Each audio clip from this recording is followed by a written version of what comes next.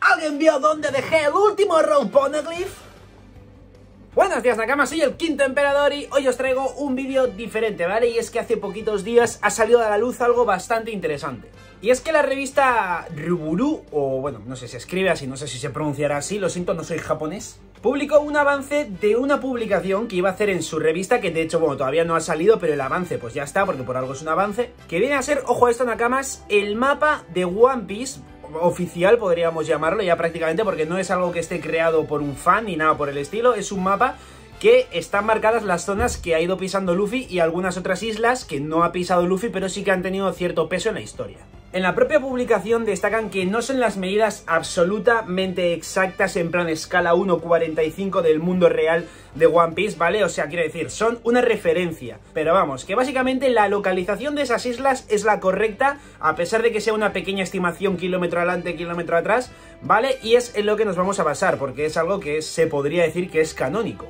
¿Qué es lo que pasa? Pues que en este mapa, ¿vale? Os lo voy a poner ya aquí en pantalla. De repente, ¡pum! Sorpresa, claro, es una revista japonesa. ¿En qué idioma le van a poner? Pues en japonés y de repente te pones tú así con toda tu buena fe del mundo a ver así el mapa y te pones como, vale, entonces ese trozo de isla de ahí, pues yo supongo que será la isla Wanchunyong, ¿vale? Justo al lado está ahí como colindando más o menos con la Harabeku no Abakuru, ¿vale? Interesante. Y, oh, mira, fijo que ahí es donde vive Foxy el zorro.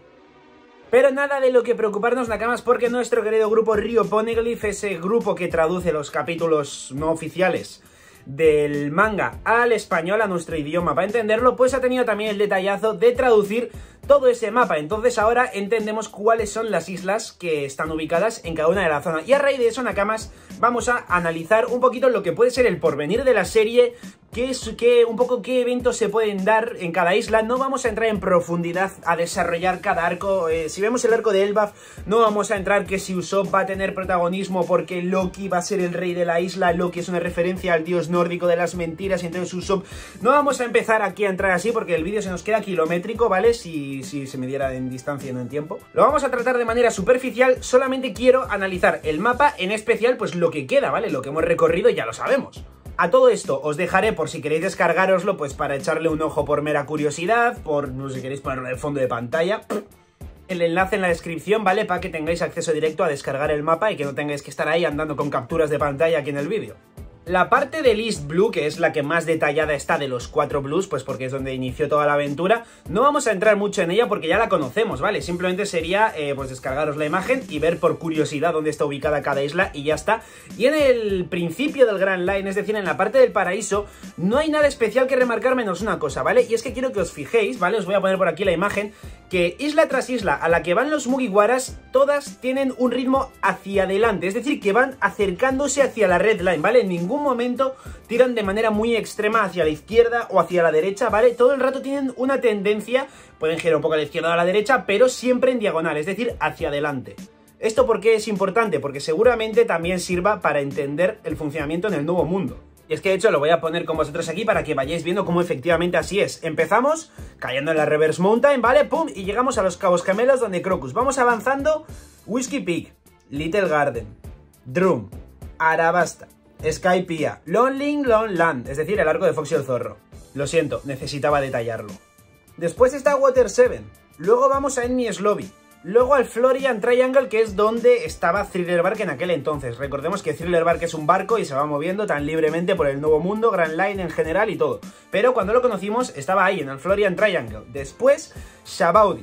Y después, ya al nuevo mundo, ¿vale? Obviamente hay un pequeño paréntesis ahí entre Impel Down, Marineford y demás, pues porque fue como un paréntesis en la serie, pero lo que es la aventura de los Mugiwaras, todo el paraíso ha sido tirar adelante, adelante, adelante, adelante, no ha habido un retroceso por alguna razón.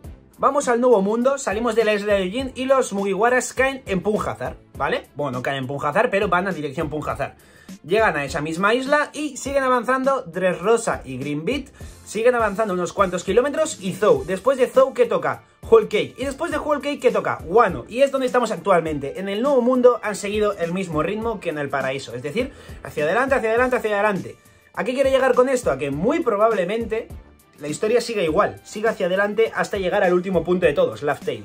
Cerca de Wano quedan cuatro islas pendientes de explorar, no sabemos si todas serán exploradas o no, ¿vale? Y son Por un lado, prácticamente al lado, de hecho un poquito más atrás, está la isla Sphinx, que es la que la, tierra natal de Shirohige, que estuvo protegiendo durante toda su vida, y donde estaba Marco el Fénix actualmente protegiéndola, ¿vale? Después de Sphinx tendríamos dos islas, que son Elbaf a un lado y Hachinosu a otro. Elbaf, ahora lo tocaremos, Hachinosu, territorio de Kurohige, ¿vale? De hecho, desde donde provino originalmente el Davy Back Fight y es considerada la isla de los piratas. Esto yo creo que va a ser un tema importante. Y más adelante está Lodestar siendo supuestamente la última isla del Grand Line, pero todos suponemos que después de Lodestar está en algún lado, muy posiblemente en la propia Reverse Mountain, Raftel o Laftail, ¿vale? Pero vamos a ir paso a paso, Nakamas, porque quedan cuatro islas delante de los Mugiwaras, bueno, realmente quedan tres, y a la derecha un poco atrás, la isla Sphinx.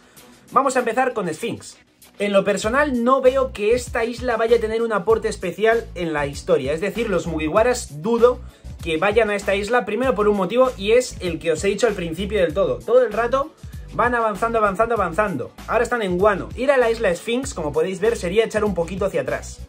Y segundo, a no ser que el cuarto Root Poneglyph esté en esa isla, es decir, que en su momento ese cuarto Root Poneglyph que nadie sabe quién tiene, realmente lo tuviera Shirohige custodiándolo y actualmente está Marco el Fénix custodiándolo, ¿vale? A no ser que, ese, que, que, estuviera ahí en esa isla, yo no veo ninguna razón necesaria para que Luffy y compañía vayan a esa isla. Tienen que seguir adelante. ¿Y qué hay delante? Lo más cercano y lo que más pegado está a Guano es el arco de Elbaf, un arco que muchos creemos que va a ser precisamente el siguiente. Como dato extra para Isla Sphinx, creo que la ha colocado Oda ahí por dos motivos. El primero de todos, porque por cercanía de Guano, Marco, que estaba residiendo actualmente en esa isla, tendría bastante fácil llegar al arco de Guano, es decir, en poco tiempo llegaría y así ha sido, de hecho. Y segundo, porque así Oda está dando a entender que cada uno de los Yonkous muy posiblemente tengan una isla muy cercana a la parte final del Nuevo Mundo, pegada al Lodestar y posiblemente a Laugh-Tale, ¿vale? De hecho, siendo estas sus bases principales. La isla Sphinx sería el territorio de Shirohige, como ya lo sabemos. Totland, obviamente Whole es el territorio de Big Mom. Wano es el territorio de Kaido, la isla Hachinosu. Sabemos a día de hoy que es territorio de Kurohige y quedaría un Yonkou por saber cuál es su territorio. En este caso sería Shanks y en este caso tenemos un par de islas todavía pendientes que podrían ser de Shanks. Por un lado Elbaf o por un lado Lodestar. Y para mí en lo personal, la isla Lodestar va a ser un territorio un poco neutro, ¿vale? Y que no es tierra de nadie como tal. Entonces, ahí no pertenecería a Shanks. La isla que pertenecería sería Elbaf, pero siendo no una isla como base principal y territorio como tal, sino una isla protegida y aliada a Shanks. ¿A qué quiere llegar con esto? Con que Elbaf obviamente está manejada por los gigantes y no tendría a Shanks el mismo control que tiene sobre la isla como lo pueden tener Kurohige en Hachinosu Totland, Big Mom o Wano Kaido, que son básicamente dictadores y todopoderosos ahí, inamovibles, ¿vale? Shanks sabemos que es un Yonko diferente y al igual que Shirohige no tenía la isla Esfinge como guau, es mía y vamos a hacerlo aquí todo, pues Shanks, que entendemos que es el Yonko bueno, pues haría lo mismo. Entonces lo tendrían como alianza más bien. Una vez explicadas las islas que quedan más o menos en el trayecto entre donde están los Muiwaras y la parte final de la Reverse Mountain, ese trocito que de nada que queda, y explicado que una de las islas principales de cada una de ellas está gobernada, entre comillas, por uno de los emperadores, ahora vamos a entrar en cuáles creo que van a ser los arcos, porque como os he dicho, la isla Sphinx yo no creo que los Mugiwaras vayan a pisarla, entonces no sería un arco, es diferente islas que arcos. Para mí quedan actualmente dos arcos que los Mugiwaras van a vivir antes de llegar a Laugh y estos son el arco de Elbaf y el arco de Load Star. Muchos os preguntaréis que por qué los Mugiwaras no, pisarían el territorio de Kurohige, ¿no? La isla Hachinosu, el que, aparentemente va a ser uno de los rivales finales de la serie y que va a pelear por el puesto del rey de los piratas junto a Luffy.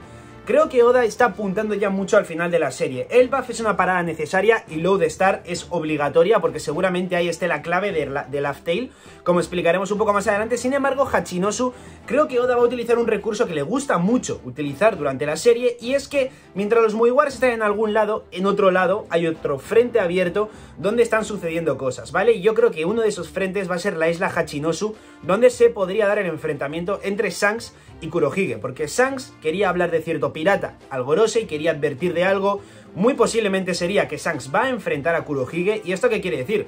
Que es Shanks quien está abriendo esa guerra, no va a venir Kurohige porque Shanks lo sabe, está yendo Shanks a donde él. ¿Y a dónde iría? A su territorio principal, a Hachinosu. Entonces, mientras los Mugiwara están en Elbaf, donde es posible que haya un reencuentro con Shanks en esa isla y no al final de Guano, como muchos en algunas ocasiones hemos comentado, al ser Elbaf territorio de Shanks, podría ser que los Mugiwaras y Shanks se encontrasen ahí, viéramos pues un poco de Shanks antes de su muerte contra Kurohige, que no es algo que esté ya 100% obligado a ser así, pero muchos lo consideramos como tal.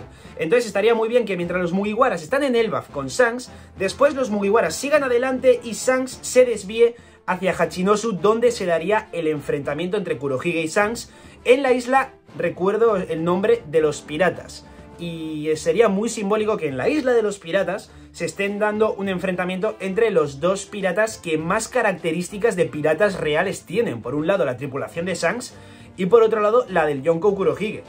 Que un, enfrentamiento entre estos dos piratas de enciclopedia y de manual se estén dando de hostias en la isla de los piratas molaría mucho. Y después de eso, Nakamas, los muy guaras, por otro lado, estarían saliendo de Elbaf, tirando a la siguiente y supuestamente última isla de, del Grand Line, Lodestar.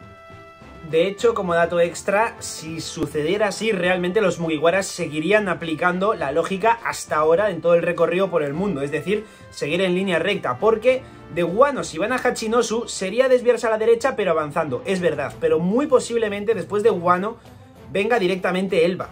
Y ya, ir de Elbaf a Hachinosu sí que sería retroceder, entonces los Mugiwaras no harían eso, después de Elbaf irían a Lodestar, mientras que Shanks iría pues hacia su batalla a Hachinosu, él sí retrocediendo un poco. Y luego llegaríamos a Lodestar. En esta isla sí que voy a indagar un poquito más dentro, ¿vale? Tampoco vamos a hacer ahí un desglose brutal, pero creo que en esta isla es donde se explicará cómo se puede acceder a la isla legendaria, a la isla Laughtale, que realmente sí que es la verdadera última isla de todas, o bueno, depende cómo lo miremos, la primera. ¿Por qué creo que la isla Lodestar va a ser donde se explica cómo acceder a Raftel? Pues por un motivo muy sencillo, y es que Lodestar puede ser que Oda esté jugando con la pronunciación en japonés de este propio nombre, ¿vale? Lodestar, si lo pronuncias en japonés sería algo así como Road Star, ¿vale? Que se parece mucho a Road Star, o sea, básicamente es cambiar la L por la R, ¿vale? Como se hace en japonés, en vez de Load Star, Road Star. Y eso significa estrella del camino, ¿vale? Y esto es claramente, Nakama, es una referencia a la estrella polar que los piratas de verdad, o sea, de la historia real, de cuando existían piratas, utilizaban para guiarse y llegar a sus destinos. La estrella polar, la que siempre indicaba un poco, pues, la dirección, entre comillas, de, para los piratas. Entonces, pues sería bonito que en un manga precisamente de piratas, la última isla de todas tenga este nombre y sea la que te indique cómo llegar a la isla legendaria, a Laugh en esta isla, o ya en Laugh directamente, pero lo veo muy posible que en esta isla es donde se diera el enfrentamiento entre Kurohige y Luffy, ¿vale? Dando a entender de esa manera que Shanks estaría en problemas o que incluso habría muerto, ¿vale? Porque claro, los Mugiwaras tiraron a Lodestar mientras que Shanks fue a Hachinosu, pero si de repente de Hachinosu llega Kurohige es porque Shanks, mm, problemas. Y en gran resumen, quien gane esa batalla entre Luffy o Kurohige es quien estará aún más cerca y ya prácticamente se le podría considerar el rey de los piratas. La gran mayoría suponemos que la isla legendaria Laugh está de una manera u otra después de Lodestar en la propia Reverse Mountain, ¿vale? Sea la última isla, literalmente la última isla, eh, sea encima de la Reverse Mountain en la parte trasera, sea por debajo, sea por donde sea, entendemos que en esa zona, la Reverse Mountain, es donde está en, alguna, en algún lado escondido la isla. Mi opinión, y por la que apuesto ciegamente, es porque está literalmente en la parte inversa de la, de, de la Reverse Mountain, es decir, en la parte de debajo, por eso, la montaña se llama Reverse Mountain porque es una montaña que como tal está del revés, ¿vale? O sea, es decir, que en algún momento, no sabemos si Im o compañía para esconder Laughtale y que nadie lo pillara, o Joy Boy y compañía para proteger Laughtale y que nadie la encontrara, una de las dos, dieron la vuelta a la montaña y por eso se llama Reverse Mountain, porque está del revés y por eso, de hecho, digamos que la corriente es ascendente en vez de descendente. Entonces, por esas razones, Laughtale quedaría escondida del revés y además eh, tendría el nombre de Reverse Mountain. Si habéis visto un poco la que yo considero mi teoría general, Nakamas, ya sabéis quiénes son los que yo creo que son los seres que nos van a llevar, nos van a guiar hacia Laugh y están muy relacionados obviamente con temas de, de, bajo del agua, ¿no? De bucear y demás. Estos seres podrían llevarnos a Laugh bajo el agua porque de hecho ellos son quienes custodian Raftail. Y una vez ya sucedió todo lo que tenga que pasar en esta legendaria isla, Luffy, rey de los piratas, el One Piece y demás, estaría ya la guerra final que seguramente sería entre el nuevo Marineford y Mareilloa, que ambos están pegados al otro lado, es decir, en el otro extremo. Entonces habría dos opciones. O retroceder todo el nuevo mundo, o lo que yo más probable veo es que sigan con la teoría que os he comentado de que sigan para adelante, para adelante, para adelante. Y entonces, una vez saliendo de Laugh Tale, acabarían en los cabos gemelos otra vez. Ahí estaría el reencuentro entre Brook y la Boom, ¿vale? Luffy habría convertido primero su sueño en realidad, el de Rey de los Piratas.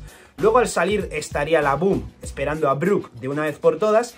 Y luego sería avanzar otra vez por todo el paraíso seguramente bastante más rápido y entre ello pues trayendo a gente nueva, no a la tripulación, pero sí pues un posible reencuentro con Vivi si no se la lleva el gobierno mundial y más cositas pues por todo el paraíso hasta llegar de nuevo al final a Marilloa y a New Marineford donde se dará la guerra final, Nakamas, el último arco de todo.